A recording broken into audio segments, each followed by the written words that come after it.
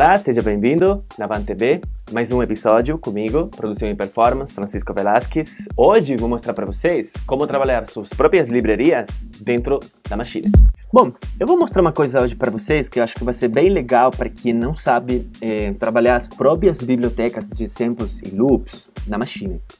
Como vocês bem sabem, a Machine é, é, uma ferramenta que já vem com uma biblioteca bastante complexa e bem densa. Ela tem 7,5 GB de conteúdo, onde vocês têm todo tipo de material para vocês começar a trabalhar com ela.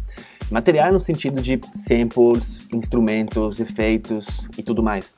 Obviamente, quem tiver outros, alguns outros produtos da Native Instruments é, vai ter o benefício de, de ter uma biblioteca muito mais extensas, né? Porque a Machine sempre linka com os produtos da própria marca. Por exemplo, se você tem um Massive, ou se você tem um FM8, ou alguns sintetizadores da marca, ou alguns pacotes como Conta, ou alguma coisa assim, vocês já diretamente eles colocam aqui na própria biblioteca, integra tudo o que você tiver da marca. Ok.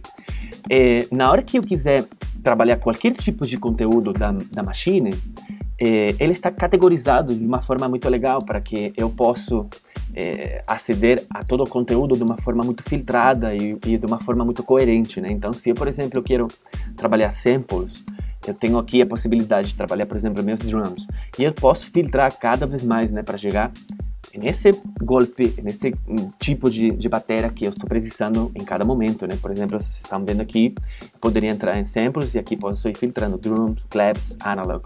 Então aqui a búsqueda já estaria totalmente filtrada para claps analógicos. Se eu quero, por exemplo, one shots, eu posso colocar ambiências, ele já me leva só em ambiências. E assim com todo tipo de material que a Native Instruments coloca para vocês. Ok, se eu quiser fazer isso com meu material, com o meu próprio HD, para não ter que estar trabalhando de uma forma, digamos, mais chata, né? De ter que estar trabalhando aqui, por exemplo, eu estou mostrando para vocês o meu HD, né? Esses são samples meus do meu HD. Estão categorizados com disco, deep, house, underground, enfim. É, a forma, digamos, normal em que trabalha, por exemplo, outros sequenciadores, outros DAW, tipo Ableton, Logic e tudo mais, eu posso colocar, é, como vocês bem sabem, aqui no ladinho, posso colocar sempre no, no browser, né, no buscador, na biblioteca, os golpes e ir carregando eles por aqui desde a tela com o meu mouse, né. A Machine, como ele tem uma controladora dedicada, é muito mais, é, digamos, é, confortável nesse sentido de integração de, de, de, bibliotecas próprias, né? Então, como é que eu faço isso para deixar ele categorizado da mesma forma que a Native Instrument faz com o conteúdo dele? O que eu tenho que fazer é chegar na minha biblioteca, né? Por exemplo, eu vou entrar aqui na minha pasta de house e eu vou nas baterias, né? Eu tenho aqui, por exemplo, um kit da 808. É, se eu quiser importar esse kit, eu posso muito bem entrar e importar um por um cada golpe. Ou eu posso é, importar a pasta inteira. Eu posso entrar, por exemplo, em kits que já estejam prontos, por exemplo, como vocês veem aqui, tenho vários kits, né, com drum hits, por exemplo, aqui eu tenho claps, cymbals, tal. Então, esse kit, por exemplo, um kit muito bacana que eu tenho do Fred Everything, que eu uso muito para fazer house, deep house e tudo mais, eu vou mostrar para vocês como eu categorizaria, por exemplo, esses golpes de bateria. É, aqui, por exemplo, como vocês veem, eu tenho claps, tenho cymbals, tenho hats, kicks e snares.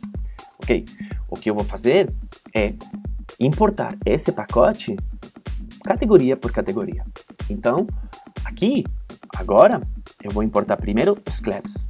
Eu vou aqui em Import e como vocês veem aqui, eu tenho a possibilidade de criar minhas categorias. Aqui já aparecem algumas palavras-chave, né, como synth, lead, é, organ, one shots, enfim, uma quantidade bem grande de palavras-chave que Native Instruments já coloca para você, também porque faz referência a todas as bibliotecas que eles já criaram né, e categorizaram da biblioteca que a gente falou antes dos 7,5 GB. Ok. Como eu estou importando um pacote que se chama Fred Everything, eu vou colocar, por exemplo, Fred Everything. Ok? Como eu estou importando Fred Everything, ele já aparece aqui marcado como que eu estou importando um pacote que se vai chamar Fred Everything. Essa vai ser a minha pasta raiz, onde eu estou colocando esses samples.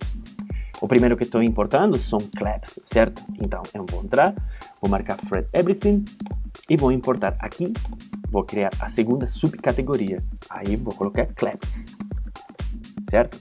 Eu poderia filtrar mais uma terceira, mas no caso não vou querer fazer por enquanto, mas você poderia, como vocês viram antes, poderia colocar claps analógicos, acústicos e tudo mais. Como eu sei e conheço esse pacote da Fred Everything, para mim com claps já é suficiente, mas tenho mais uma terceira possibilidade de importação.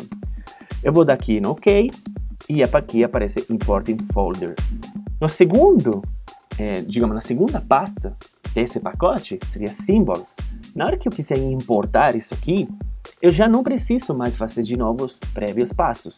Eu preciso simplesmente marcar que ele vai para o pacote de Fred Everything e agora colocar Symbols. Ok? Na hora que eu importar, já diretamente vai para essa pasta raiz na categoria Symbols. Assim eu vou fazer com todos esses que tenho aqui. Esse aqui, por exemplo, é Hats. Esse aqui, por exemplo, é Kicks.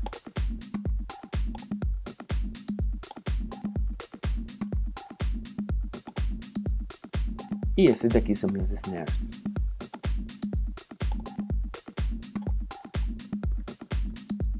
Ok? Agora eu já tenho esse pacote. Não, na verdade não esse pacote, são os drum hits desse pacote da Fred Everything importados dentro da minha biblioteca da Machine.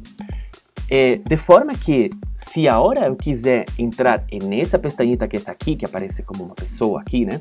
A Native Instrument Machine, ele te marca a biblioteca que é própria da marca, da Native Instruments, sim? e aqui tudo que seria meu conteúdo.